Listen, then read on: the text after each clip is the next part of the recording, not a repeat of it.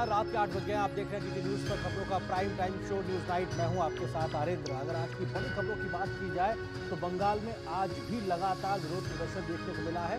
महिला training doctor की rape और हत्या के बाद से लगातार, या कहा जाए 9 अगस्त की और 10 अगस्त की रात की घटना के बाद से लगातार इस पूरे मामले पे बंगाल में उबाल देखने को मिल रहा है। पीड़िता के माता पिता ने आज उनके न्याय की लड़ाई में देश भर से मिल रहे समर्थन के लिए देश भर का आभार जताया है। तो बीजेपी ने कल के बंद के बाद एक तरीके से सात दिन का धरना प्रदर्शन भी आज शुरू कर दिया है।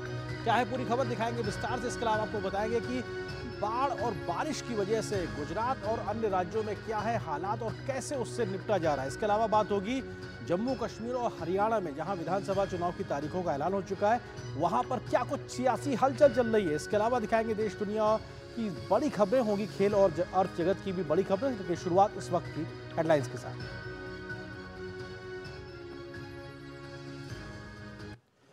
हरियाणा चुनाव के लिए भाजपा केंद्रीय चुनाव समिति की पार्टी मुख्यालय में बैठक। पीएम मोदी सहित वरिष्ठ नेता बैठक में कर रहे हैं शिरकत। पार्टी अध्यक्ष जेपी नड्डा के आवास पर हरियाणा कोर ग्रुप ने किया मंथन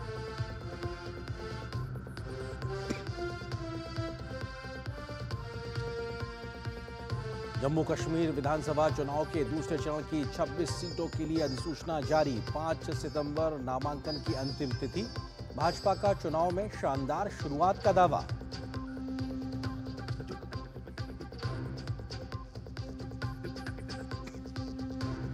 चुनावी रेवड़ी की सियासत वाले इंडी शासित राज्य आर्थिक बदहाली का शिकार, बिगड़ी हिमाचल की आर्थिक स्थिति। सीएम सुक्कू का मंत्रिमंडल के दो महीने तक नहीं लेगा वेतन। भाजपा ने बोला, हमला, कांग्रेस की नीतियों और कुशासन को बताया जिम्मेदार।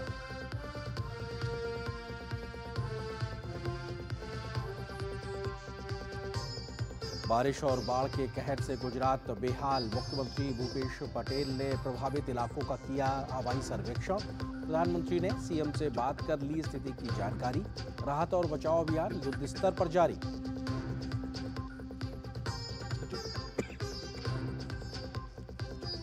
प्रधानमंत्री मोदी ने कहा, लखपति दीदी कार्यक्रम ने महिलाओं के शैक्षणिक, सामाजिक, आर्थिक और सामाजिक सशक्तिकरण को किया सुनिश्चित। प्रधानमंत्री ने कृषि मंत्री शिवराज सिंह चौहान के इससे संबंधित पोस्ट को किया है साझा।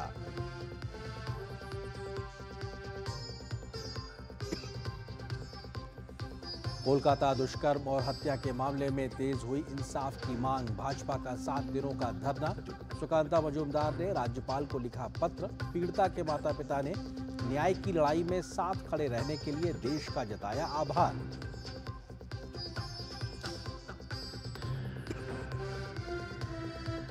असम में मुस्लिम शादी और तलाक का रजिस्ट्रेशन अब होगा अनिवार्य। विधानसभा से पारित हुआ विधेयक, मुख्यमंत्री हेमंत बिस्व शर्मा ने कहा, खत्म होगी बाल विवाह और काजी व्यवस्था। बहुविवाह को खत्म करना होगा अगला लक्ष्य।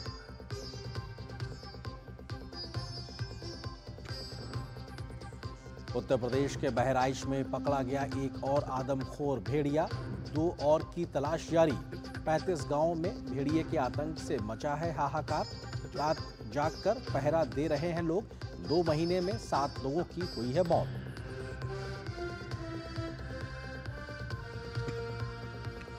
भारतीय नौसेना की ताकत को मिली और धार बेड़े में शामिल हुई परमाणु संचालित पनडुब्बी आईएनएस अरिघात। विशाखापट्टनम में रक्षा मंत्री ने नौसेना में कराया शामिल।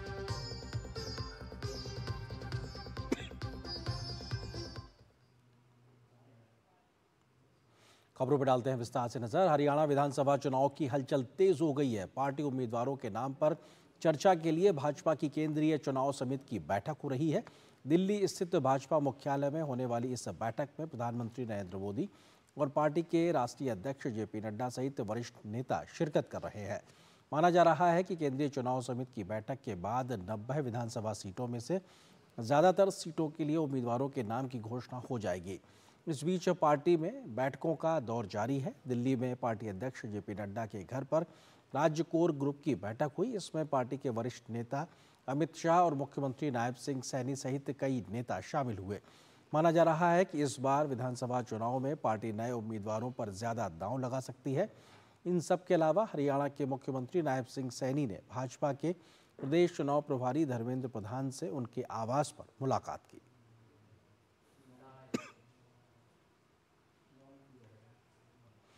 उधर जम्मू कश्मीर विधानसभा चुनाव के दूसरे चरण की 26 सीटों के लिए अधिसूचना आज जारी हो गई। इस चरण में 5 सितंबर तक नामांकन दाखिल किए जा सकेंगे। 6 सितंबर को नामांकन पत्रों की जाँच होगी, जबकि नामांकन वापस लेने की तारीख 9 सितंबर रहेगी। दूसरे चरण में वोट 25 सितंबर को डाले जाएँगे।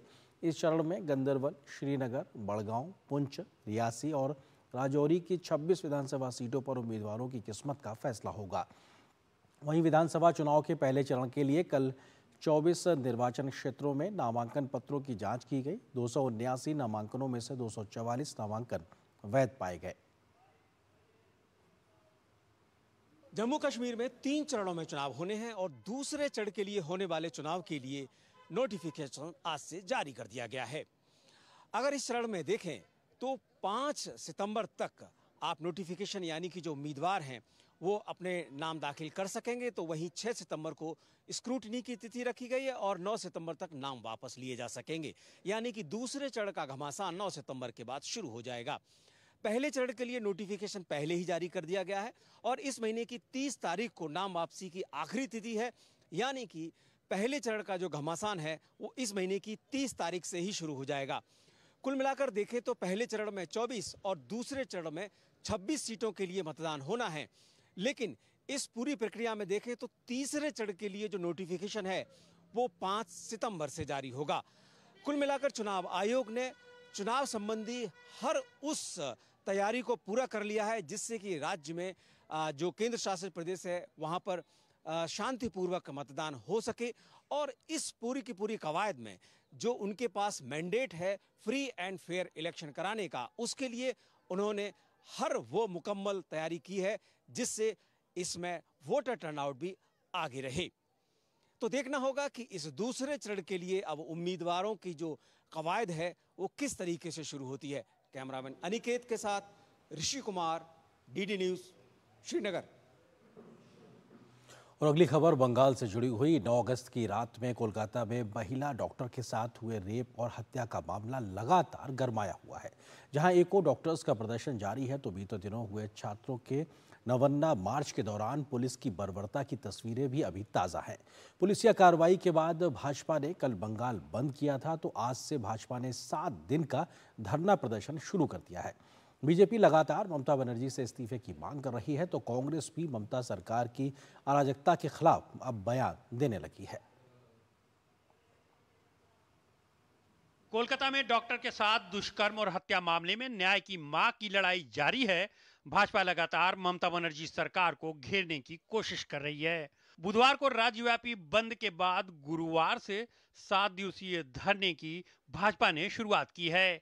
हाईकोर्ट से अनुमति मिलने के बाद भाजपा ने यह धरना शुरू किया है। हालाँकि अदालत के आदेश के बाद भी आधी रात को मंच लगाने को लेकर कुछ विवाद हुआ। मंगलवार को विरोध प्रदर्शन कर रहे छात्रों पर पुलिसिया कार्रवाई के खिलाफ बुधवार को भाजपा ने 12 घंटे का बंद बुलाया था। इस दौरान भी जगह जगह हिंसा हुई। देसी बम से लेकर कई राउंड फायरिंग की घटनाएँ सामने आईं। मुख्यमंत्री ममता बनर्जी लोगों के आक्रोश को कम करने के बजाय हर किसी को धमकाने पर उतारू हो गई हैं। यहाँ तक कि ममता बनर्जी हड़ताल पर बैठे डॉक्टरों को भी धमकी दे रही हैं। भाजपा का आरोप है कि ममता अपनी विफलताओं को छुपाने के लिए छात्रों को डराने की कोशिश कर रही हैं। बंगाल में ममता बनर्जी हार चुकी हैं, अपनी लोकप्रियता खो चुकी हैं। इसीलिए वो असंवैधानिक बातें बोल रही हैं। संघीय ढांचा को तोड़ रही हैं। हालाँकि ममता बनर्जी अपने बयान पर अब सफ़ाई देते हुए दिखाई दे रही हैं। उन्होंने मीडिया द्वारा अपने बयान को गलत तरीके से पेश करने का आरोप लगाया। ममता बनर्जी ने कहा कि उन्होंने छात्रों और उनके आंदोलन के खिलाफ एक शब्द नहीं बोला है, जबकि भाजपा ममता पर राज्य की कानून व्यवस्था को चौपट कर देने का आरोप लगा रही है। ममता बनर्जी अपना पॉलिटिक्स के लिए उद्देश्य में जितना बड़ा घटना घटेगा वो जितना बड़ा टेररिस्ट होगा, सब टेररिस्ट को वहाँ पे रहने के लिए बंदोबस्त कर देंगे। क्योंकि उसका यही है, सत्ता जिसको है, उसका आइन भी नहीं चलेगा। ममता बनर्जी ने कहा था कि अगर बंगाल जलेगा तो असम और दिल्ली भी जलेंगे। कांग्रेस पार्टी भी आखिरकार इस मुहिम में शामिल होने का निर्णय लिया है। कांग्रेस नेता अधीर रंजन चौधरी समेत पार्टी के कार्यकर्ताओं ने मामले में विरोध प्रदर्शन किया।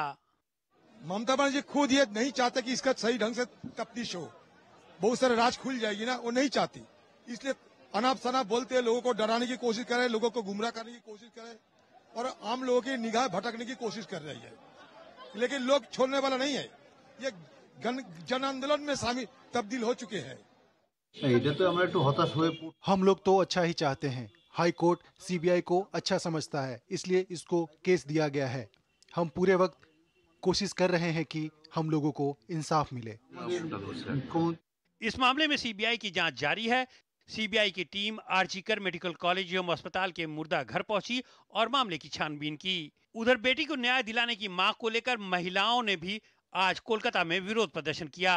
टीएमसी ने भी बेटी को इंसाफ दिलाने के लिए धरना प्रदर्शन का ऐलान किया है, यानी पीड़िता को न्याय दिलाने की इस जंग में अब राजनीतिक पार्टियाँ आमने सामने हैं। लेकिन बड़ा सवाल यह है कि ममता सरकार बेटी की इंसाफ के लिए ईमानदार कोशिश कर रही हैं या इस मुद्दे को भटका रही हैं?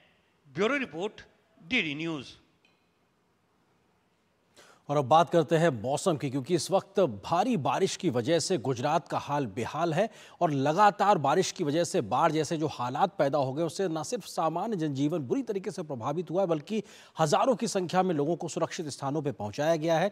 एसडीआरएफ, एनडीआरएफ, सेना और वायुसेना लगातार फंस गए लोगों को सुरक्षित स्थानों तक पहुँचाने का काम कर रही है। तो ऐसी तस्वीरें लगातार आ रही हैं जो एक तरीके से दिल दहला देने वाली स्थिति दिखाई पड़ती है। कई बार लोग कहीं बाढ़ की स्थिति में फंस जाते हैं तो वहाँ देवदूत बन के तमाम जो राहत एजेंसियों के कर्मी हैं वो पहुँचते हुए नज़र आ रहे हैं। यही हालात कुछ और राज्यों में भी है जिन इलाकों में भारी बारिश और बाढ़ हो रही है वहाँ पर भी सामान्य जनजीवन बुरी तरीके से प्रभावित हुआ है। कैसे है मौसम की मांग देखिए इस रिपोर्ट में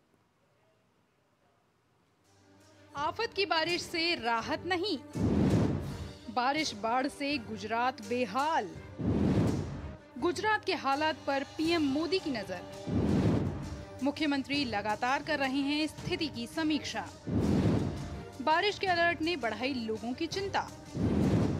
राहत और बचाव अभियान युद्ध स्तर पर जारी। करीब चालीस हज़ार लोगों को सुरक्षित निकाला गया। भारी बारिश के चलते जनजीवन अस्त व्यस्त गुजरात में भारी बारिश ने ज़बरदस्त तबाही मचाई है। सौराष्ट्र और कच्छ में सबसे ज़्यादा बुरा हाल है। इस बीच मौसम विभाग ने एक बार फिर अगले कुछ घंटे इन इलाकों के लिए भारी बताए हैं। यहाँ भारी बारिश का अलर्ट जारी किया गया है। राज्य के कई इलाकों में पिछले तीन दिनों से लगातार बारिश हो रही है। अहमदाबाद के कई हिस्सों में भारी बारिश के कारण जल भरा हुआ। लोगों को परेशानी का सामना करना पड़ रहा है। प्रधानमंत्री नरेंद्र मोदी ने गुजरात के मुख्यमंत्री भूपेंद्र पटेल से बात कर बाढ़ के हालात की जानकारी ली। प्रधानमंत्री ने उन्हें केंद्र सरकार की ओर से हर संभव सहायता और सहयोग का आश्वासन दिया। मुख्यमंत्री भी लगातार राज्य की स्थिति की समीक्षा कर अधिकारियों से जानकारी ले रहे हैं। उन्होंने पानी में फंसे लोगों के लिए राहत कार्यों को प्राथमिकता देने का आग्रह किया। खासकर वडोदरा शहर और ज़िले, देवभूमि द्वारका और जामनगर जिलों में भोजन के पैकेट, पीने के पानी के पाउच और स्वास्थ्य संबंधी दवाएँ उपलब्ध कराने के निर्देश दिए गए हैं। गुजरात में आई भारी आपदा में एनडीआरएफ, एसडीआरएफ और सेना दिन रात राहत और बचाव कार्य में जुटी हुई है। राज्य के साथ केंद्र सरकार भी लगातार हालातों पर नज़र बनाए हुए है। केंद्र की ओर से लगातार राज्य को मदद भी भेजी जा रही है। राज्य में इस समय 14 टीमें एनडीआरएफ यानी राष्ट्रीय आपदा प्रतिक्रिया बल और 22 टीमें एसडीआरएफ यानी राज्य आपदा प्रतिक्रिया बल और सेना की छह टुकड़ियाँ तैनात की गई हैं। बाढ़ प्रभावित क्षेत्रों से अब तक करीब चालीस हज़ार लोगों को निकाला गया है। पिछले दो दिनों में द्वारका में भारी बारिश हुई है। लोगों के घरों में पानी घुस गया है। इस दौरान एनडीआरएफ ने पिचानवे लोगों को बचाया है। राज्य के बाढ़ प्रभावित क्षेत्रों से लगभग साढ़े आठ हज़ार लोगों को सुरक्षित स्थानों पर पहुँचाया गया है। पिछले 24 घंटा में जो रेनफॉल रिकॉर्ड हुआ है, उसमें सबसे ज़्यादा कच्छ में 30 सेंटीमीटर और द्वारका में उनतीस सेंटीमीटर रेनफॉल रिकॉर्ड हुआ है। और ओवरऑल देखा जाए तो टोटल एक्सट्रीमली आठ जगहों पे रिकॉर्ड हुआ है और वेरी हैवी ग्यारह जगहों पे और 18 जगहों पे हैवी रेनफॉल रिकॉर्ड हुआ है। इस बीच वन विभाग ने महाराजा सयाजी राव यूनिवर्सिटी ऑफ़ बड़ौदा के परिसर से एक मगरमच्छ को रेस्क्यू किया। वडोदरा की विश्वामित्र नदी में बाढ़ के कारण मगरमच्छ पानी से बाहर निकलकर रिहायशी इलाकों में घुस रहे हैं। घर के अंदर मगरमच्छ घुसने से लोग दहशत में हैं। बाद में वन विभाग की टीम ने बड़ी मुश्किलों के बाद मगरमच्छ का रेस्क्यू किया। तब जाकर लोगों को राहत मिली। दिल्ली एनसीआर में झमाझम बारिश का दौर जारी है। दिल्ली में कुछ जगहों पर तेज गरज और चमक के साथ मूसलाधार बारिश देखने को मिली। बारिश के कारण दिल्ली के धौला कुआँ चौधरी फतेह सिंह मार्ग, निगम बोध घाट आज़ाद मार्ग के इलाकों में बारिश के कारण जल जमाव हुआ है। दिल्ली में जगह जगह पानी भर जाने के कारण गाड़ियों की रफ्तार धीमी हो गई है। दिल्ली के धौला कुआँ में भीषण ट्रैफ़िक जाम देखने को मिल रहा है। बंगाल की खाड़ी से मॉइस्चर आ रही थी और हमारा अरेबियन सी से मॉइस्चर एक डब्ल्यूडी के head of the W D convergence में था और मॉइस्चर आपका डीप पेनिट्रेशन हो रहा था दिल्ली तक। आ, दिल्ली और इनफैक्ट पूरा नॉर्थ इंडिया में तो जिसके चलते हमारा पूरा नॉर्थ इंडियन प्लेन्स में कल भारी वर्षा रिकॉर्ड किया गया है। आ, मगर आज का जो स्थिति है हमारा उम्मीद है कि बारिश का जो आ, पैटर्न है जिस क्योंकि डब्ल्यू के इंटरेक्शन से ही हमारा मेनली नॉर्थ के तरफ़ यानी जम्मू एंड कश्मीर हिमाचल प्रदेश और पंजाब हरियाणा इन सभी इलाके में आपका भारी वर्षा रहेगी उत्तर प्रदेश में लगातार हो रही बारिश से आम जनजीवन अस्त व्यस्त हो चुका है भारी बारिश के कारण वाराणसी में गंगा नदी और गोरखपुर में राप्ती नदी खतरे के निशान से ऊपर बह रही हैं। कई जिलों में भारी बारिश के आसार हैं। प्रयागराज में भारी बारिश के बाद गंगा और यमुना का जल स्तर बढ़ने से संगम घाट डूब गया है। Bureau report, DD news. और न्यूज़ नाइट में यहाँ पर एक छोटे से ब्रेक के लिए रुकते हैं। बहुत जल्द हाजिर होते हैं। भारत में सालाना हज़ारों लोग हाथी पाँव नाम की बीमारी की चपेट में आकर जीवन भर के लिए अपाहिज हो जाते हैं हाथी पाँव एक मच्छर के काटने से फैलता है हाथी पाँव का कोई इलाज नहीं है साल में सिर्फ़ एक बार सरकार द्वारा दी हुई मुफ़्त दवाएँ खाएँ और इस बीमारी से अपने आप को और अपने परिवार को बचाएँ 10 अगस्त को हाथी पाँव से बचाव की दवा अवश्य खाएँ। अपने आप को और अपने परिवार को इस दर्दनाक बीमारी से बचाएँ। भारत सरकार द्वारा जनहित में जारी ये विशाल है ना इसका सब प्रॉपर चलता है। कल उसके बैंक अकाउंट में पंद्रह हज़ार रूपए का फ्रॉड हुआ है पता है? इसको तो कोई टेंशन ही नहीं होती है। देखना। टेंशन क्यों? मेरी कोई गलती नहीं थी। फिर भी फ्रॉड होने पर मैंने तुरंत बैंक को इन्फॉर्म कर दिया। आरबीआई कहता है अगर आपके अकाउंट से किसी ने धोखे से पैसे निकाले हैं तो बैंक को जल्द से जल्द इन्फॉर्म कीजिए। तीन दिन के अंदर इन्फॉर्म किया तो कोई नुकसान नहीं होगा। जितना लेट करोगे उतना ज़्यादा नुकसान। और सुन सब चलता नहीं है। प्रॉपर चलाना पड़ता है। आरबीआई कहता है जानकार बनिए सतर्क रहिए। मुथूट फाइनेंस से गोल्ड लोन लेते हुए कोई डाउट नहीं है, क्योंकि यहाँ है पूरी ट्रांसपेरेंसी 100 परसेंट भरोसा और सुरक्षा। तभी तो मुथूट फाइनेंस है भरोसा इंडिया का। तो गोल्ड लोन लेने के लिए कॉल करें one eight hundred three one three one two one two. बात जब पीढ़ियों के लिए बनने वाले घर की हो तो ज़िम्मेदारी बड़ी हो जाती है। गैलेंट समझता है ये ज़िम्मेदारी। अब डबल एम रिब्स के साथ। गैलेंट एडवांस टीएमटी रीबार निर्माण का रियल हीरो और ब्रेक के बाद रुक करते कुछ और महत्वपूर्ण खबरों की ओर। रक्षा मंत्री राजनाथ सिंह की मौजूदगी में आज भारतीय नौसेना में आईएनएस अरिघात को शामिल किया गया है। आईएनएस अरिघात से भारतीय नौसेना की ताकत बढ़ेगी। भारत की दूसरी परमाणु ऊर्जा संचालित बैलिस्टिक मिसाइल पनडुब्बी आईएनएस अरिघात को आंध्र प्रदेश के विशाखापट्टनम में नौसेना में शामिल किया गया। ये पनडुब्बी 6000 टन की है, जो हिंद प्रशांत क्षेत्र में लंबी दूरी तक गश्त लगाने में सक्षम है। इस पनडुब्बी को 750 किलोमीटर तक मार करने वाली परमाणु मिसाइल के 15 से लेस किया गया है। रक्षा मंत्री ने विश्वास जताया है कि अरिघात परमाणु प्रतिरोध को बढ़ाएगी। क्षेत्र में रणनीतिक संतुलन और शांति स्थापित करने में भी मदद करेगी। साथ ही साथ देश की सुरक्षा में निर्णायक भूमिका भी अरिघात निभाएगी। उन्होंने इसे राष्ट्र के लिए एक उपलब्धि और प्रधानमंत्री नरेंद्र मोदी के नेतृत्व वाली सरकार के रक्षा क्षेत्र में आत्मनिर्भरता हासिल करने के अटूट संकल्प का प्रमाण बताया है। राजनाथ सिंह ने इस क्षमता को हासिल करने में भारतीय नौसेना, डीआरडीओ और उद्योग जगत की कड़ी मेहनत और तालमेल की सराहना भी की है। ब्रिटेन के साउथहैम्पटन विश्वविद्यालय को विदेश मंत्री डॉक्टर एस जयशंकर ने आज लेटर ऑफ़ इंटेंट सौंप दिया है। साउथहैम्पटन विश्वविद्यालय नई शिक्षा नीति 2020 के अंतर्गत भारत में एक परिसर स्थापित करेगा। इस अवसर पर विदेश मंत्री डॉक्टर एस जयशंकर ने कहा कि यह हमारे शैक्षिक मानकों को उच्चतम वैश्विक स्तर तक बढ़ाने तथा भारत ब्रिटेन सहयोग के शिक्षा स्तंभ को मज़बूत करने के दृष्टिकोण को दर्शाता है। उन्होंने कहा कि मुझे विश्वास है कि इस तरह के प्रयास हमारे युवाओं को विश्व के लिए तैयार करेंगे तथा वैश्विक समझ और सहयोग की भावना को भी बढ़ावा देंगे We are witnessing a significant milestone in international education in India. The issuance of the letter of intent to the University of Southampton, one of the top 100 universities of the world. And it's issued as they prepare to establish their first campus in India. Today's event is also a testament to the strong and multifaceted bilateral ties between India and the United Kingdom. NEP 2020 is more than just a policy, it is, in fact, a vision for the future of education in India, one that aspires to elevate our standards to the highest global levels. It aims to make India a hub of excellence, attracting students from around the world, setting up foreign university campuses, and fostering global competencies among our students and our faculty. खबर अर्थ जगत से जुड़ी हुई credit agency Moody's ने भारतीय ग्रामीण मांग में सुधार के संकेतों का हवाला देते हुए 2024 और 25 के लिए भारत के विकास अनुमान को बढ़ा दिया है मूडीज ने उम्मीद जताई है कि भारत की अर्थव्यवस्था की विकास दर 2024 में 6.8 फ़ीसदी से बढ़कर 7.2 फ़ीसदी रहेगी। और ये तस्वीरें इस वक्त हम आपको सीधी दिखा रहे हैं। भाजपा के मुख्यालय से, जहाँ पर इस वक्त उनकी केंद्रीय चुनाव समिति की बैठक हो रही है। आगामी विधानसभा चुनाव को लेकर जहाँ प्रधानमंत्री नरेंद्र मोदी पहुँचे हैं, ये भाजपा मुख्यालय से तस्वीर है हमारे सहयोगी शैलेंद्र मिश्र इस वक्त हमारे साथ में इस खबर पर अधिक बातचीत के लिए मौजूद है। शैलेंद्र का रुख करते हैं। शैलेंद्र आज एक तरीके से हरियाणा पर फोकस तरीके से बात होगी तो हम क्या उम्मीद कर सकते हैं प्रत्याशियों के चयन को लेकर और किस प्रकार के फॉर्मूले के इर्द गिर्द हम प्रत्याशियों के चयन की एक घोषणा होते देखेंगे? शैलेंद्र।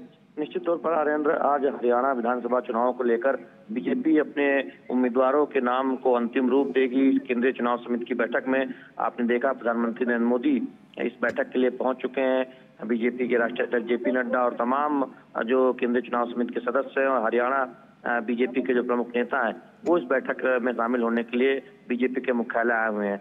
जो फार्मूला ये बताया जा रहा है कि नए चेहरों को मौका देने की बात कही जा रही है, यानी बड़ी संख्या में युवाओं को किस तरह से ज़्यादा से ज़्यादा चुनावी राजनीति में उतारा जाए हरियाणा में या तो इसमें इसका मतलब ये है कि कई ऐसे जो मौजूदा विधायक हैं भारतीय जनता पार्टी को उनको हो सकता है टिकट न मिले क्योंकि जो फीडबैक पार्टी ने लिया है तो उस पर उस फार्मूले पर विचार होगा कि जिताऊ उम्मीदवार को टिकट दिया जाए और संतुलन दिखेगा जो पहली बिल्कुल एक संतुलन भी देखने को मिल सकता है। बहुत शुक्रिया शैलेंद्र आप नज़र बनाए रखिए इस महत्वपूर्ण घटनाक्रम पे। आपसे आगे भी अपडेट्स लेंगे। फ़िलहाल यहाँ पर एक छोटे से ब्रेक के लिए रुकते हैं।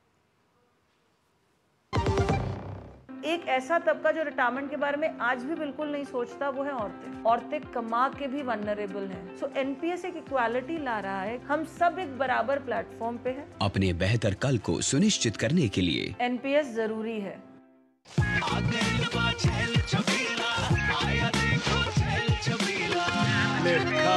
अच्छा भैया मेरी गाय को भी अपने हाथों से चारा खिला दो। अरे खिलाई देते हैं। हमारी गाय हमारी गाय भैया। क्या हो गया? पूरा का पूरा गाँव यहाँ आ गया। भैया इसी हाथ से चारा खिलाते हो। तभी तो आपके गाय भैंसों की ब्याज सबसे ज़्यादा है। अरे पगले ये चमत्कार इस हाथ का नहीं। हाथ में जो कपिला पशु आहार है उसका है। जो पशुओं की सेहत अच्छी रखता है और ब्याज भी बढ़ाता है। ले जाओ।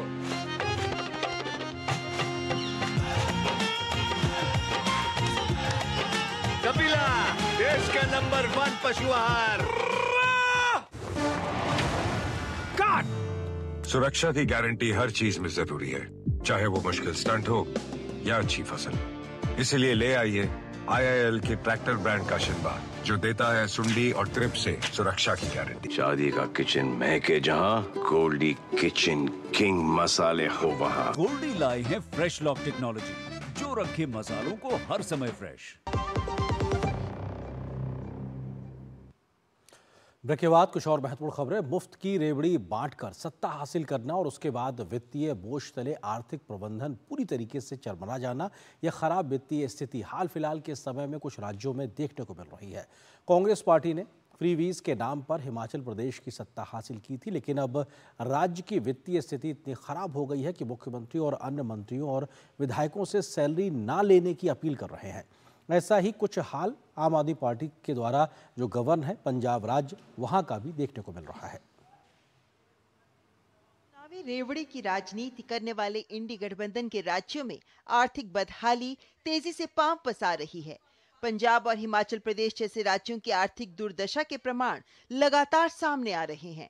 हिमाचल में ही हालात ये हो गए हैं कि स्वयं मुख्यमंत्री और उनके मंत्रियों के साथ साथ शीर्ष अधिकारियों के वेतन और टीएडीए तक पर अनिश्चितता के बादल मंडराने लगे हैं। मुख्यमंत्री सुखविंदर सिंह सुक्खू राज्य की माली हालत सुधरने तक वेतन और टीएडीए न लेने की बात कर रहे हैं। वहीं राज्य विधानसभा में मुख्य विपक्षी दल भाजपा का कहना है कि सीएम का ये बयान दिखाता है कि कांग्रेस सरकार की नीतियों और कुशासन ने राज्य को कहाँ ले जा छोड़ा है। आने वाले समय में जो सुधार और अच्छा नज़र आता है, दो महीने तक ना पे ना पे लेंगे, ना टीए लेंगे, ना डीए लेंगे। और यही अनुरोध मैंने जब अपने सीपीएस साथियों से कहा, उन्होंने कहा, दो महीने तक हम भी नहीं रहेंगे। महज ये छोटा सा अमाउंट है, लेकिन एक सिंबॉलिक अमाउंट है। ये चाहे एक करोड़ है, चाहे डेढ़ करोड़ है, जितना भी है, लेकिन एक सिंबॉलिक है। राहुल गांधी का जो खटाखट मॉडल था, उससे राज्य की वित्तीय स्थिति भयंकर और भयानक हो चुकी है। और यही राहुल गांधी का गारंटी वाला मॉडल और उनकी इकोनॉमिक थिंकिंग एक्सपोज हो चुकी है। हिमाचल में आर्थिक बदहाली और कुशासन का मुद्दा भाजपा बार बार उठाती रही है।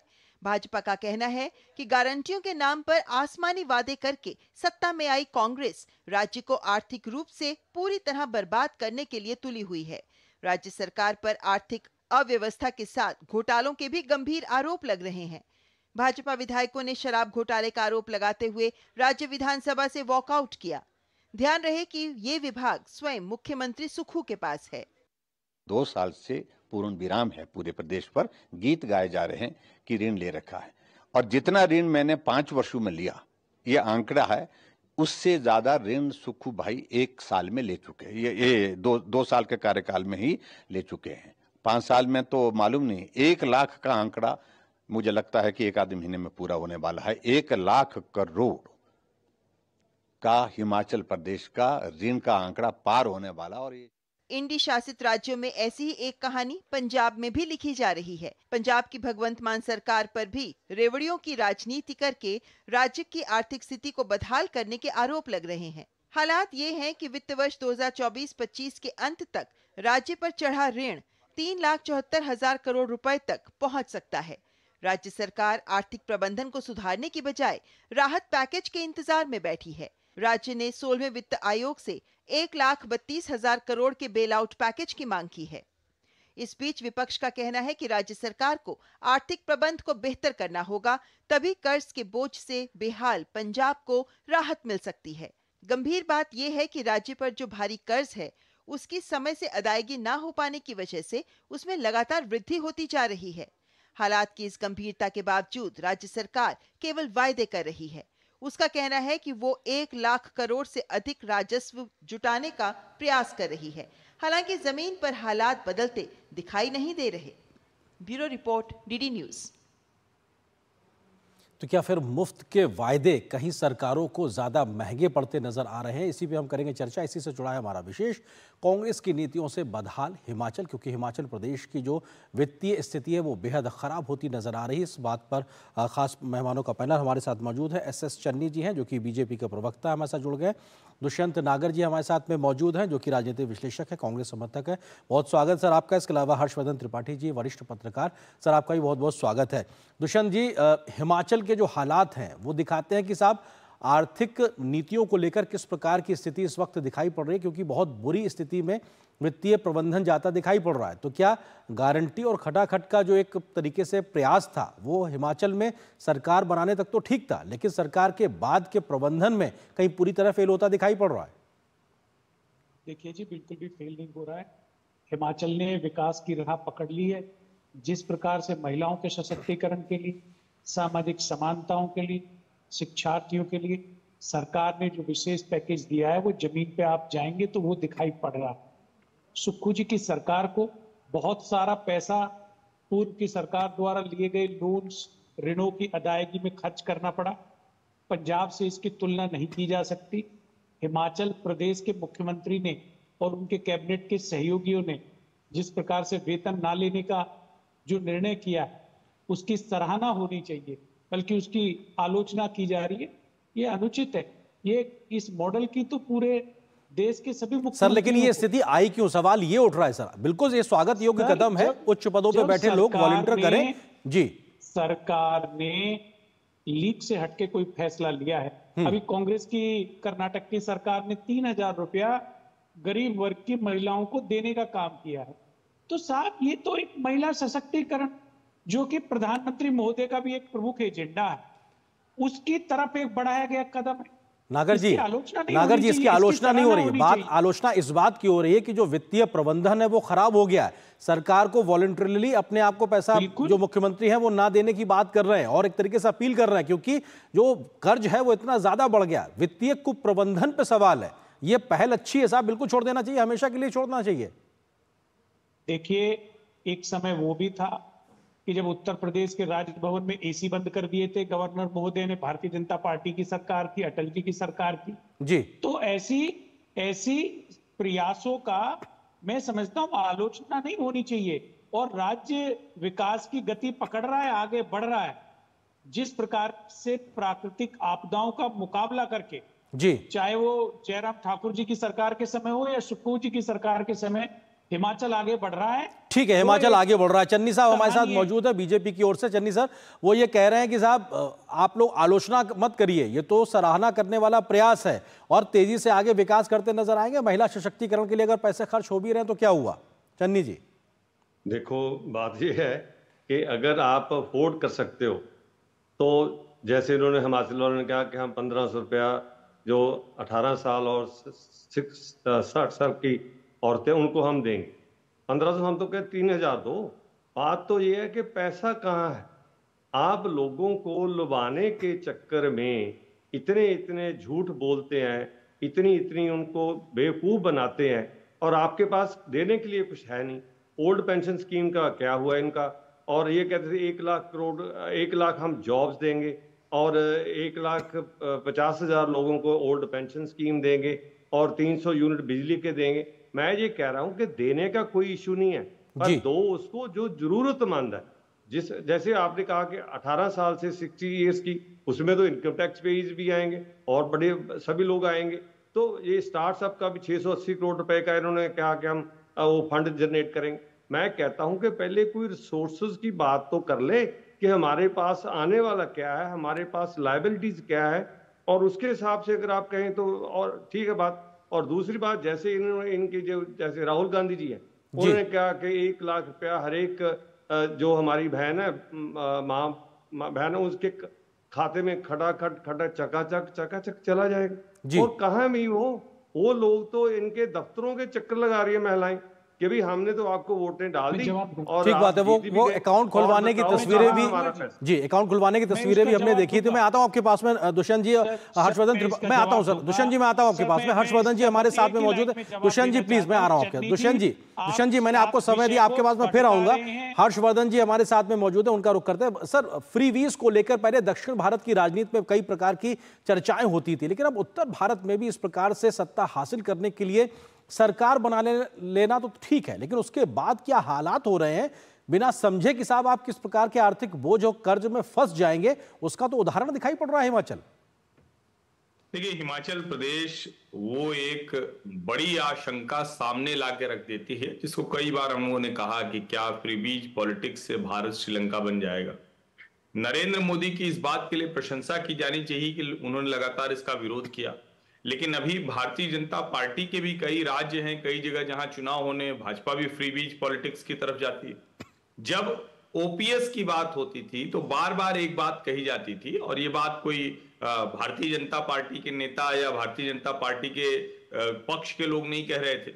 ये बाकायदा मोन्टेक सिंह अहलुवालिया ने कहा, जो प्लानिंग कमीशन के वाइस चेयरमैन थे। ये ऐसे लोगों ने कहा, जो कांग्रेस की रीति नीति मनमोहन सिंह के समय में बनाते थे। कि आपको कहीं आगे निकलना पड़े, क्योंकि भले ही ओपीएस खत्म हुआ एनपीएस 2004 में अटल जी के समय में आया लेकिन उसे लागू कांग्रेस सरकार ने किया। आज राहुल गांधी के नेतृत्व में देश की आर्थिक बर्बादी की कहानी लिखी जा रही। हिमाचल प्रदेश उसका सबसे बड़ा उदाहरण है। और ये कहना कि हम ये तनख्वाह नहीं लेंगे, एक करोड़, डेढ़ करोड़ रुपया एक प्रतीकात्मक है, ये दिखाता है कि कितना हिला हुआ है आत्मबल मुख्यमंत्री का। मुख्यमंत्री को समझ में नहीं आ रहा है कि और क्या तरीका हो सकता है। अब अगर ये छोटे से राज्य में ऐसी स्थिति हुई सोचिए अगर बड़े राज्यों में तो क्या होगा? और पंजाब में आपको याद होगा जब आम आदमी पार्टी की सरकार आई थी तो भगवंत मान दो दिन के बाद ही पहुँच आए थे दिल्ली और कहा कि हमें एक लाख करोड़ रुपए का कर्ज दे दीजिए। क्यों दे दीजिए? क्योंकि ढेर सारी फ्रीबीज हमने प्लान कर रखी है। इसीलिए शायद कोई भी कांग्रेस हो या आम आदमी पार्टी वो जो खाते में नगद डालने की बात है उसको ठीक से लागू नहीं कर पाते। जहाँ लागू करते हैं वहाँ इस तरह की आर्थिक बर्बादी नज़र आती है। राहुल गांधी जो देश का करना चाहते हैं वो हिमाचल में दिख रहा है। जी दुष्यंत जी क्योंकि ये बहुत अपने आप में गंभीर सवाल है कि हम अपनी अपनी आर्थिक स्थिति को समझे बिना अगर हम इस प्रकार के फैसले लेंगे लोक लुभावन हालाँकि वेलफेयर स्टेट में ये काम होते हैं करने चाहिए।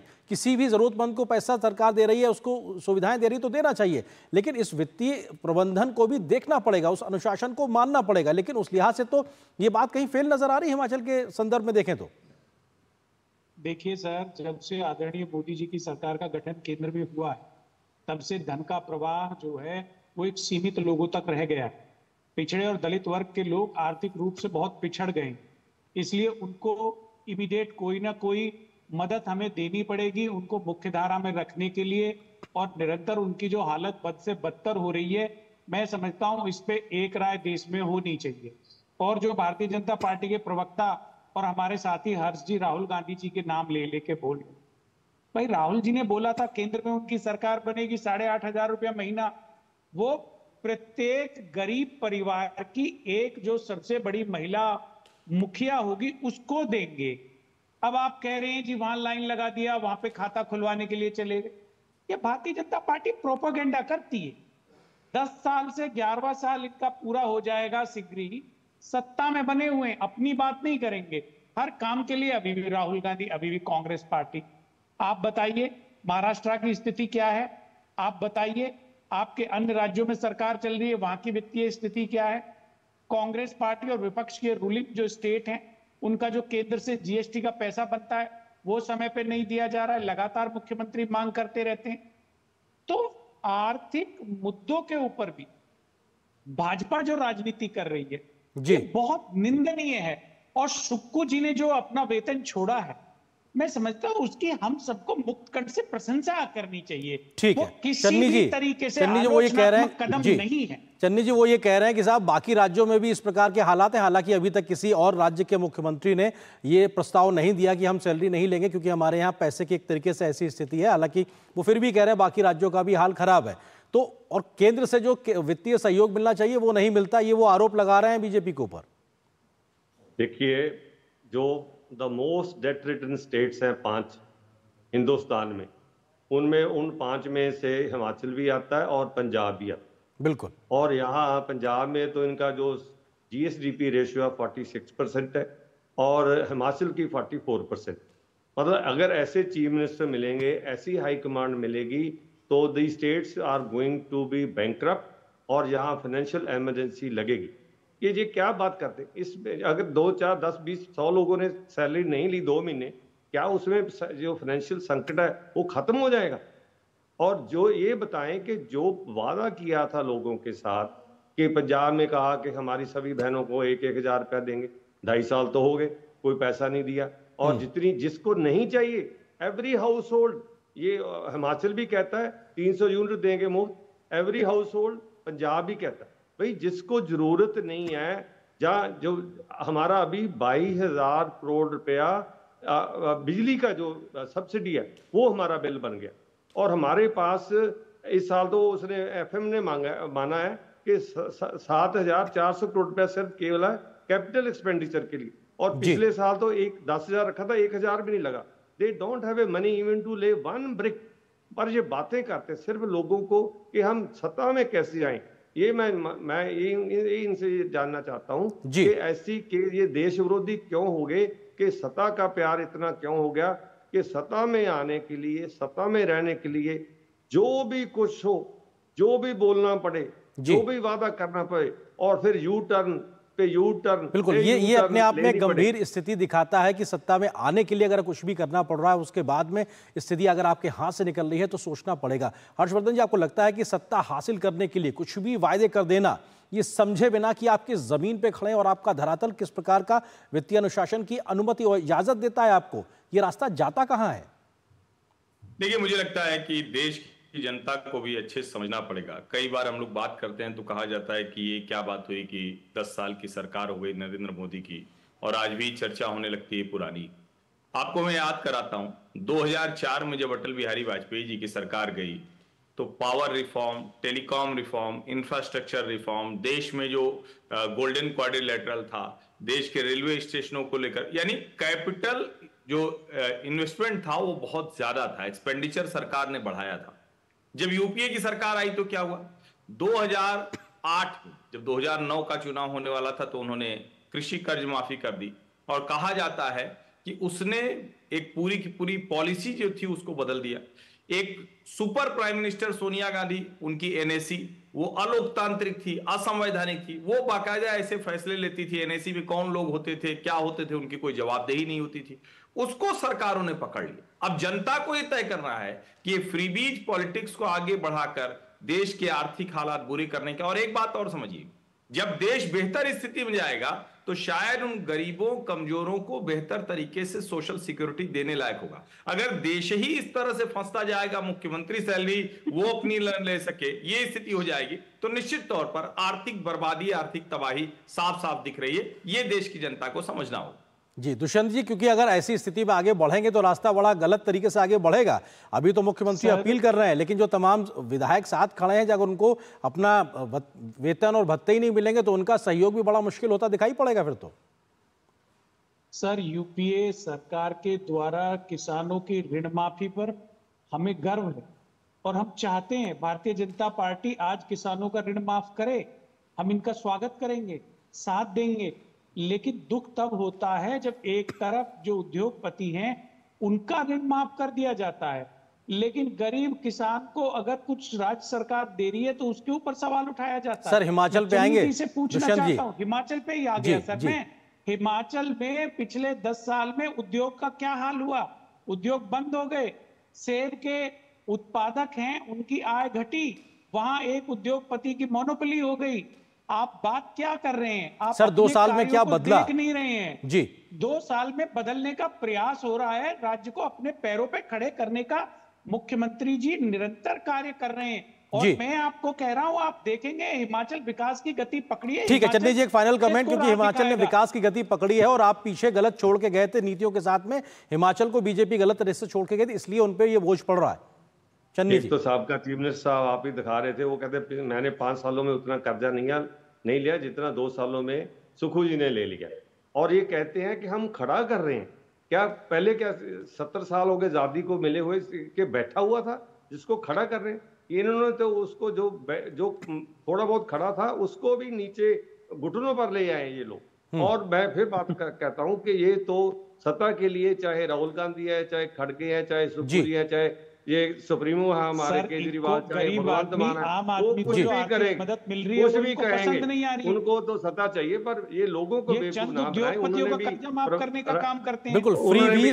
जान देनी है रब को तो ये बंद करें ये मैजिक। बिल्कुल फ्री वीज की राजनीति बंद होना चाहिए लेकिन जनता का सहयोग और समर्थन जारी रहे लेकिन उस दिशा में कैसे आगे बढ़ा जाए वो लाइन कहाँ ड्रॉ होगी जहाँ पे हम समझें कि हम कहाँ पे वित्तीय आधार पे खड़े हैं वो समझना भी हमारे सियासतदान को समझना ज़रूरी। फ़िलहाल वक्त इतनी अनुमति दे रहा आप तीनों मेहमानों का बहुत शुक्रिया हमारे साथ जुड़ने के लिए इस विषय पर विस्तार से बात करने के लिए बहुत बहुत शुक्रिया आप तीनों का। और यहाँ पर एक छोटे से ब्रेक का वक्त हो गया बहुत जल्द हाजिर होते हैं। बात जब पीढ़ियों के लिए बनने वाले घर की हो तो ज़िम्मेदारी बड़ी हो जाती है। गैलेंट समझता है ये ज़िम्मेदारी। अब डबल एम रिब्स के साथ। Gallant advance T M T rebar निर्माण का रियल हीरो ज़ीरो फाइव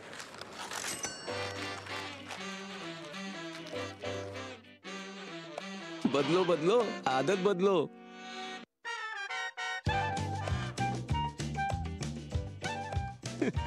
बदलो बदलो आदत बदलो। अब नजदीकी बैंक जाकर फटे पुराने नोट्स बदलिए। अगर बैंक मना करे तो आरबीआई के ओम्बुड्समैन से शिकायत करें। आरबीआई कहता है जानकार बनिए सतर्क रहिए। सुरक्षा की गारंटी हर चीज़ में ज़रूरी है चाहे वो मुश्किल स्टंट हो या अच्छी फ़सल। इसलिए ले आइए आईआईएल के ट्रैक्टर ब्रांड का शिनबा जो देता है सुंडी और ट्रिप से सुरक्षा की गारंटी। शादी का किचन महके जहाँ गोल्डी किचन किंग मसाले हो वहाँ। गोल्डी लाई है फ्रेश लॉक टेक्नोलॉजी जो रखे मसालों को हर समय फ्रेश और ब्रेक के बाद अगली खबर असम से जुड़ी हुई। असम की राज्य सरकार ने वहाँ पर मुस्लिमों के विवाह और उनके तलाक का सरकार के साथ रजिस्ट्रेशन होना अनिवार्य कर दिया है। और अब ये व्यवस्था काजी व्यवस्था नहीं रहेगी, बल्कि सरकार के पास इसका रजिस्ट्रेशन होगा। सरकार की मंशा ये है कि इससे एक तो बाल विवाह पे रोक लगेगी, उसके अलावा जो काजी की जो व्यवस्था चली आ रही है, उसको भी रोकने में कहीं ना कहीं ये मददगार साबित होगी। वहाँ के जो मुख्यमंत्री हेमंत विश्व शर्मा, उनका ये कहना है कि अगला कदम उनका होगा कि कैसे बहुविवाह की प्रथा को रोका जाए। साथ ही साथ बाल विवाह को रोकने के लिए भी जो बच्चियों की उम्र है, अठारह साल, और युवकों की उम्र इक्कीस साल है, उसको भी अनिवार्य असम में किया गया है।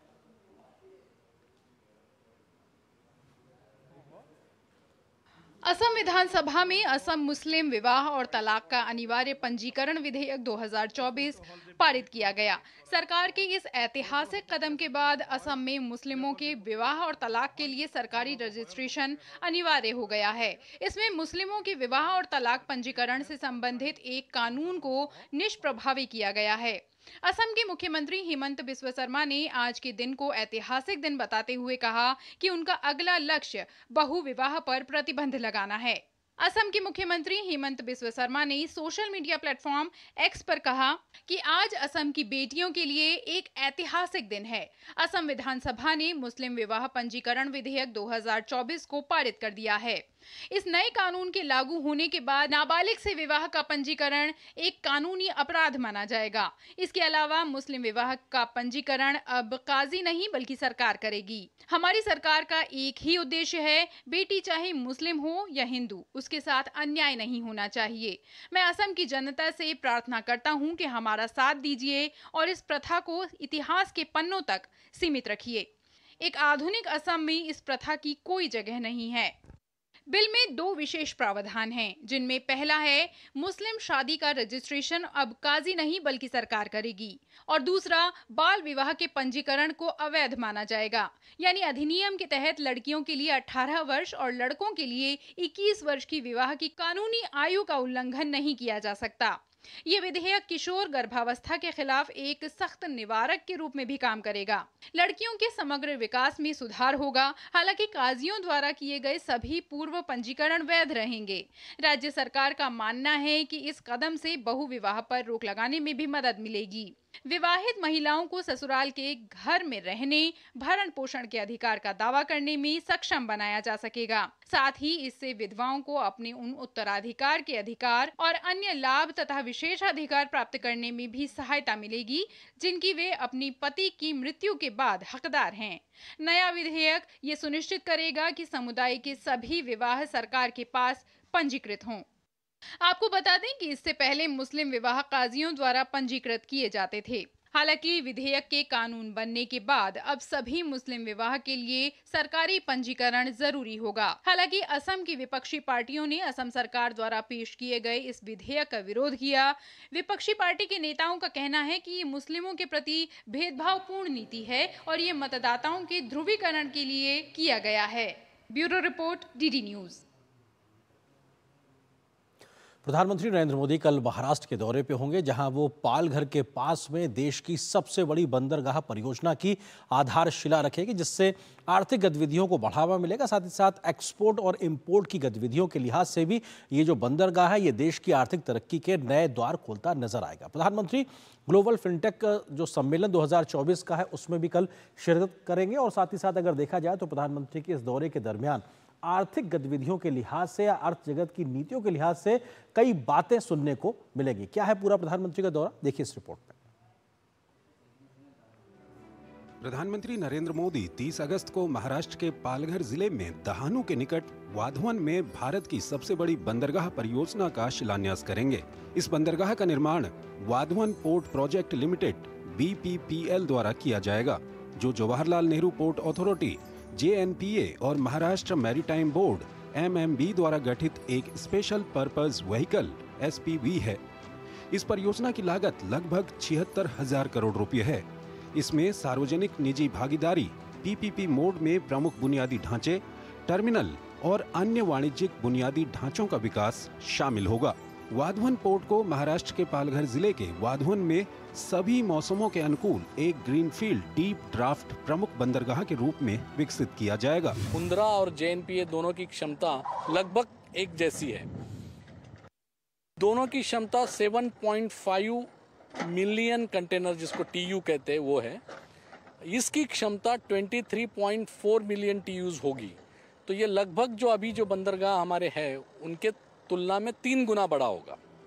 जेएनपी के अध्यक्ष ने बताया कि ये बंदरगाह प्रस्तावित समर्पित माल ढुलाई गलियारों और दिल्ली मुंबई औद्योगिक गलियारे के निकट है। ये बंदरगाह प्रस्तावित भारत मध्य पूर्व यूरोप गलियारे आईमैक और अंतर्राष्ट्रीय उत्तर दक्षिण परिवहन गलियारे आई के लिए प्रवेश द्वार के रूप में काम कर सकता है। जी ट्वेंटी में आईमेक कॉरिडोर कॉरिडोर की जो बात हुई है जैसे India middle east Europe corridor जो है इसके लिए ये स्टार्टिंग पॉइंट ये बंदरगाह होगा। वाधवन बंदरगाह भारत की समुद्री कनेक्टिविटी को बढ़ाएगा और वैश्विक व्यापार केंद्र के रूप में इसकी स्थिति को और मज़बूत करेगा। वाधवन बंदरगाह भारत के सबसे बड़े डीप वाटर बंदरगाहों में से एक होगा। अत्याधुनिक प्रौद्योगिकी और बुनियादी ढांचे से सुसज्जित ये बंदरगाह अंतर्राष्ट्रीय शिपिंग मार्गों से सीधी कनेक्टिविटी प्रदान करेगा। इस बंदरगाह से रोज़गार के महत्वपूर्ण अवसर पैदा होने स्थानीय व्यवसायों को प्रोत्साहन मिलने और क्षेत्र के समग्र आर्थिक विकास को बढ़ावा मिलने की उम्मीद है। इस बंदरगाह के बनने के बाद स्थानीय आबादी को उम्मीद है कि इससे रोज़गार के कई अवसर बढ़ेंगे जिससे इलाके की अर्थव्यवस्था को भी मजबूती मिलेगी। एशिया में सबसे बड़ा माना जा रहा है आज तक का। वो वाडवन बंदर हमारे ज़िले में आ रहा है इसलिए ये जिलावासी करके मैं उनका बहुत बहुत आभार व्यक्त करता हूँ। जो वाडवन बंदर बना है वो सबसे पहले तो हमारे पालघर ज़िले के सबसे खुशी की बात है कि बहुत अच्छा कर रहे हैं। आज के तारीख में भारत में सबसे बड़ा फोर्ट पालघर में आने वाला है और उस वजह से पाल पालघर का नाम पूरे वर्ल्ड में होने वाला है। ये परियोजना प्रधानमंत्री गतिशक्ति कार्यक्रम के उद्देश्यों के अनुरूप है जो आर्थिक गतिविधियों को बढ़ावा देगी। इस परियोजना से लगभग 12 लाख व्यक्तियों को प्रत्यक्ष और अप्रत्यक्ष रूप से रोज़गार मिलेगा जिससे यहाँ की अर्थव्यवस्था भी मज़बूत होगी। इसका सीधा फ़ायदा भारत की अर्थव्यवस्था को होगा और साथ ही साथ यहाँ के स्थानीय लोगों को भी। ऐसे में आने वाले समय में वाड़वन बंदर एक गेम चेंजर प्रोजेक्ट उभर कर सामने आ सकता है। शीर्षिलार डीडी न्यूज़ पालघर। यहाँ पर एक और छोटे से ब्रेक के लिए रुकते हैं। बात जब पीढ़ियों के लिए बनने वाले घर की हो तो ज़िम्मेदारी बड़ी हो जाती है। गैलेंट समझता है ये ज़िम्मेदारी। अब डबल एम रिब्स के साथ गैलेंट एडवांस टीएमटी रीबार निर्माण का रियल हीरो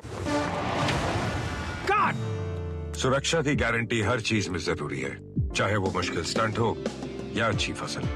इसलिए ले आइए आईआईएल के ट्रैक्टर ब्रांड का शिनबा जो देता है सुंडी और ट्रिप से सुरक्षा की गारंटी सोना सिर्फ़ कहना नहीं होता। कभी पुश्तैनी पहचान तो कभी प्यारी सी याद होती है। लाइफ में आगे बढ़ने के लिए उसी सोने से गोल्ड लोन लेने का फैसला समझदारी का होता है। मुथुट फाइनेंस ये बात समझते हैं। इसीलिए वो ईमानदारी, सच्चाई और आपके विश्वास को सबसे बढ़कर मानते हैं। मुथुट फाइनेंस, सदियों का भरोसा हमेशा के लिए। तो गोल्ड लोन के लिए कॉल करें one eight hundred three one three one two one two. Bharat में सालाना हज़ारों लोग हाथी पाँव नाम की बीमारी की चपेट में आकर जीवन भर के लिए अपाहिज हो जाते हैं हाथी पाँव एक मच्छर के काटने से फैलता है हाथी पाँव का कोई इलाज नहीं है साल में सिर्फ़ एक बार सरकार द्वारा दी हुई मुफ़्त दवाएँ खाएँ और इस बीमारी से अपने आप को और अपने परिवार को बचाएँ। 10 अगस्त को हाथी पाँव से बचाव की दवा अवश्य खाएँ। अपने आप को और अपने परिवार को इस दर्दनाक बीमारी से बचाएँ। भारत सरकार द्वारा जनहित में जारी और ब्रेक के बाद अब बात करते हैं भेड़ियों से जुड़ी खबर की, क्योंकि उत्तर प्रदेश के बहराइच में भेड़ियों का एक झुंड का आतंक बीते कई महीनों से चल रहा है और आसपास के करीब 35 गाँवों में सात लोगों की ये भेड़ियों का झुंड जान ले चुका है। लेकिन वन विभाग और उत्तर प्रदेश के तमाम अन्य लोग वहाँ पर कोशिश कर रहे हैं स्थानीय लोगों के प्रयास के बाद में अभी तक चार भेड़ियों को पकड़ा जा चुका है, जबकि दो का को लेकर अभी सर्च ऑपरेशन जारी है। लेकिन प्रयास लगातार चल रहे हैं, लेकिन इस बीच में इस पूरे इलाके में भेड़ियों का जो आतंक था और उसको पकड़ने का जो पूरा ऑपरेशन था, बीते लंबे समय से सुर्खियों में बना हुआ है। देखिए आज क्या हुआ इस पूरी खबर में। उत्तर प्रदेश के बहराइच की महसी तहसील में आतंक का पर्याय बने चौथे भेड़िए को पकड़ लिया गया है। इन भेड़ियों के झुंड ने क्षेत्र के 35 गाँवों में हाहाकार मचाया हुआ है। इन आदमखोर भेड़ियों को पकड़ने के लिए ऑपरेशन भेड़िया लगातार चलाया जा रहा है। इस क्रम में एक आदमखोर भेड़िए को पकड़ा गया। वन विभाग की ओर से सिसैया इलाके में वन विभाग की टीम को बड़ी कामयाबी मिली है। बहराइच में पहले से तीन भेड़िए पकड़े गए थे। वन विभाग की टीम ड्रोन कैमरों और ट्रैंकुलाइजर गन से लैस टीम के साथ तकरीबन दो महीने से भेड़ियों को पकड़ने में लगी है। हम लोगों ने एक भेड़ियों को पकड़ लिया है और उसमें जो डीएफओ बहराइच है, अजीत, वो और उनकी टीम साथ में लगी थी और हम लोगों ने भेड़िए को बहुत सक्सेसफुली रेस्क्यू कर लिया है और बहुत जल्दी हम उसको यहाँ से किसी जूम में ट्रांसफ़र कर देंगे। उसको घेरा गया था, उसके बाद फिर काफ़ी रेजिस्टेंस था तो उसको ट्रैंकुलाइज भी करना पड़ा। अभी तक चार भेड़िए पकड़े जा चुके हैं। दो भेड़िए हैं जो अभी रिमेनिंग है, उनको भी पकड़ने की पूरी तैयारी की जा रही है। बहराइच के पैंतीस गाँवों में भेड़ियों का आतंक चल रहा है। लोग रात भर पहरा देते हैं। उसके बाद भी भेड़िया मौका पाकर लोगों पर हमला कर देता है। भेड़िए के हमले का पहला मामला अप्रैल में सामने आया था। जुलाई से लेकर अब तक छह बच्चों समेत सात जाने इन भेड़ियों ने ले ली है। क्षेत्र में भेड़िए के हमले से घायल होने वालों की संख्या लगभग 45 हो गई है। ड्रोन से मिली जानकारी के मुताबिक इलाके में कुल छह भेड़िए हैं, जिनमें से चार भेड़ियों को पकड़ा जा चुका है और बाकी बचे भेड़ियों के लिए सर्च ऑपरेशन जारी। है हमारे लोग जो है फ़ूड पेट्रोलिंग कर रहे हैं। करीब 10 टीमें लगी हुई हैं। मेहनत कर रही है और हमारे पास थर्मल ड्रोन कैमराज हैं जो कि लोकेट करने में काफ़ी मदद कर रहे हैं। और हम कोशिश कर रहे हैं कि जल्द से जल्द करें। दो और हैं ये श्योर हैं हम लोग। और दोनों का अब वो हम लोग बिहेवियर भी स्टडी कर लेंगे और उसके बाद उसको लोकेट कर लेंगे। आदमखोर भेड़ियों के आतंक को देखते हुए वन विभाग की टीम की ओर से ऑपरेशन भेड़िया चलाया जा रहा है। सीएम योगी आदित्यनाथ लगातार इस मामले पर नज़र रखे हुए हैं। वन मंत्री को स्वयं पूरे मामले की निगरानी के आदेश दिए गए हैं। इसके बाद से वन विभाग ने बड़ा ऑपरेशन लॉन्च किया है। भेड़ियों के इस खतरे को देखते हुए वन विभाग की 16 टीमें तैनात की गई वहीं क्षेत्र में 11 जिला स्तरीय अफसरों की टीम पहरा दे रही है। इसके साथ ही पाँच जिलों का वन महकमा भी इन भेड़ियों की तलाश में जुटा हुआ है। बहराइच से विकास सिंह की रिपोर्ट डीडी न्यूज़। और न्यूज़ नाइट के अंत में आपको छोड़ जाते हैं कुछ और राष्ट्रीय महत्व की खबरों के साथ फटाफट अंदाज में आप देखिए इन खबरों को मुझे दीजिए अनुमति। नमस्कार। देश भर में हर्षोल्लास के साथ राष्ट्रीय खेल दिवस मनाया गया। राष्ट्रीय खेल दिवस के उपलक्ष्य में आज के दिन विशेष रूप से राष्ट्रपति भवन के अमृत उद्यान को खिलाड़ियों के लिए आरक्षित किया गया था। राष्ट्रपति द्रौपदी मुर्मू ने इस अवसर पर अमृत उद्यान का दौरा करने वाले खिलाड़ियों से मुलाकात की। ब्रिटेन के साउथहैम्पटन विश्वविद्यालय को विदेश मंत्री डॉक्टर एस जयशंकर ने आज लेटर ऑफ़ इंटेंट सौंपा। साउथहैम्पटन विश्वविद्यालय नई शिक्षा नीति 2020 के अंतर्गत भारत में एक परिसर स्थापित करेगा। इस अवसर पर विदेश मंत्री डॉक्टर एस जयशंकर ने कहा कि ये हमारे शैक्षिक मानकों को उच्चतम वैश्विक स्तर तक बढ़ाने तथा भारत ब्रिटेन सहयोग के शिक्षा स्तंभ को मज़बूत करने के दृष्टिकोण को दर्शाता है। केंद्र सरकार ने छत्तीसगढ़ में डबल रेल लाइन परियोजना को मंजूरी दे दी है। इनकी कुल अनुमानित लागत करीब 1,360 करोड़ रुपए है। इसमें दो नए रेलवे स्टेशन भी बनाए जाएँगे। इसके अलावा दो अन्य रेल परियोजनाओं को भी मंजूरी मिली है जिसके तहत चौदह नए रेलवे स्टेशनों का निर्माण किया जाएगा। सीआईआई ने नई दिल्ली में राष्ट्रीय सोशल टेक स्टार्टअप सम्मेलन का आयोजन किया। इसका उद्देश्य सामाजिक क्षेत्र में बदलाव लाने वाले सोशल टेक स्टार्टअप को बढ़ावा देना, उनके अनुभवों को सुनना और उद्योग जगत से सी एस आर के तहत सहायता दिलाने का मंच प्रदान करना है। इस दौरान CII ने स्टार्टअप कंपेडियन और फ़िश प्लेटफॉर्म का अनावरण किया। छत्तीसगढ़ के नारायणपुर में मुठभेड़ में मारी गई तीन वर्दीधारी महिला माओवादियों की शिनाख्त कर ली गई है। इन महिलाओं की पहचान प्राथमिक तौर पर उत्तर बस्तर डिवीज़न कमेटी तथा पीएलजीए कंपनी नंबर पाँच के सदस्य के रूप में पहचान की गई है। तेलंगाना के मुख्यमंत्री रेवंत रेड्डी के खिलाफ कैश फॉर वोट आरोप की सुनवाई राज्य से बाहर कराने की मांग वाली याचिका पर सुनवाई के दौरान सुप्रीम कोर्ट ने के कविता की जमानत को लेकर रेड्डी के बयान पर कड़ी नाराज़गी जताई है। जस्टिस बी आर गवई की बेंच ने कहा कि तेलंगाना सीएम के बयान सुप्रीम कोर्ट पर आक्षेप लगाने जैसे हैं।